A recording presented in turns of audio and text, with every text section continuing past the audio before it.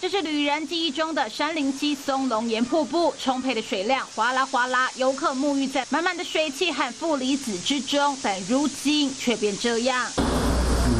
巨瀑磅礴的气势已不复见，只剩涓涓细流。惊喜相比之下，水量、水流跟负离子的含量天差地远。从来没有看到像那么小了，真的好，跟家里面的自来水那种感觉很像哦。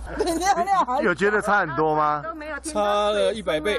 中南部地区雨水稀缺，旱象难解，松龙岩瀑布也因为没水，被游客戏称像是尿尿小童。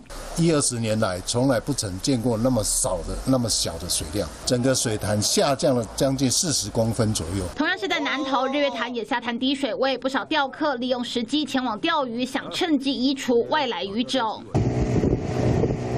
另外，嘉义的水漾森林水位也明显降低，还有山友投诉，未流动的水潭就像一潭死水，加上登山客乱丢垃圾，造成污染，脏乱的程度甚至比夜市还不如。但目前林管处已经巡视清理，也呼吁登山客要保有公德心，共同维护自然环境。解中部综合报道。